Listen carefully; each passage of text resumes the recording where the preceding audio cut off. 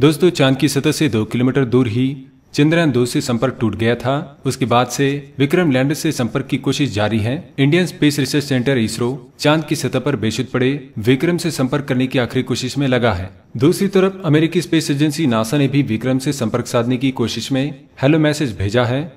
बता दें कि सात सितंबर को लैंडर विक्रम हार्ड लैंडिंग के बाद चाँद की सतह पर गिर गया था। नासा ने भेजा विक्रम को रेडियो संदेश।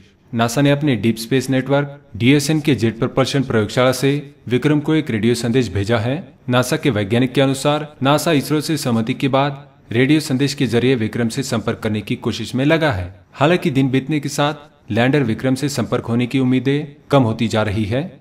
इसरो के प्री लॉन्च अनुमान के मुताबिक, विक्रम को सिर्फ़ एक लूनार डे की ही सीधी सूरज की रोशनी मिलेगी। इसका मतलब है कि पृथ्वी के चौदह दिन तक ही विक्रम को सूरज की रोशनी मिलेगी। ऐसे में इसरो इन चौदह दिन तक अपनी कोशिश जारी रख सकता है।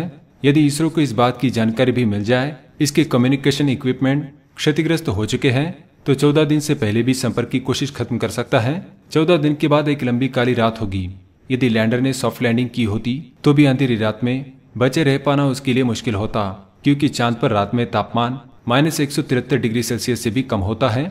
इतने कम तापमान में विक्रम काम नहीं कर सकता। विक्रम को चाँद की सतह पर हार्ड लैंडिंग किए हुए छह दिन गुजर चुके हैं। ऐसे में बीस इक्कीस सितंबर तक अगर उससे संपर्क नहीं हो पाया तो फिर उससे संपर्क करने की कोशिश खत्म हो जाएगी।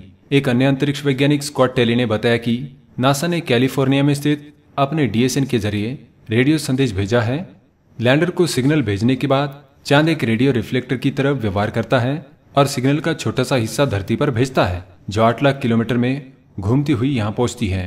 नासा इसरो की मदद क्यों करना चाहता है? नासा को उम्मीद है कि चंद्रयान टू के ऑर्बिटर से अहम डाटा मिल सकता है। ऑर्बिटर में आठ एडवांस्ड पेलोड्स हैं। नासा चाँद की थ्री मैपिंग के डाटा का बेसब्री से इंतज़ार कर रहा है।